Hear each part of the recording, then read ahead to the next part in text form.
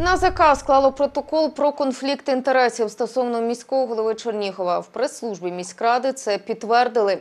Йдеться про Владислава Трошенка. НАЗК вбачає корупційну складову в діях мера Чернігова, оскільки на початку повномасштабного вторгнення Росії до України чиновник використовував службовий автомобіль в інтересах своєї родини. Відомо, що 5 березня цього року посадовець відправив за кордон свою дружину Ірину Атрошенко на службовому автомобілі, який належить міській раді Чернігова. Три місяці жінка використовувала транспорт у Польщі не за цільовим призначенням. А в той момент бюджет Чернігова сплачував лізингові платежі за цю ж автівку. У НАЗК вважають, що спосіб, в який Владислава Трошенко повернув службове авто до України, є непрозорим.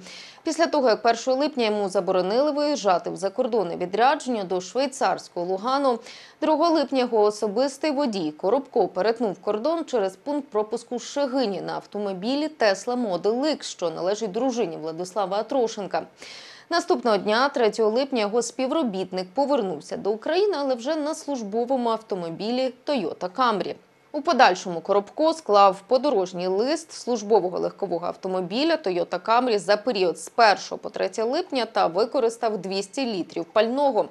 Витрати покрили з місцевого бюджету, зазначили наші джерела. Таким чином, міський голова Чернігова порушив вимоги статті 28 закону України про запобігання корупції та безпідставно передав службовий автомобіль користування близької особи та надавав вказівку своєму підлеглому щодо вчинення дій в приватних особистих інтересах. Тепер чекаємо на рішення суду.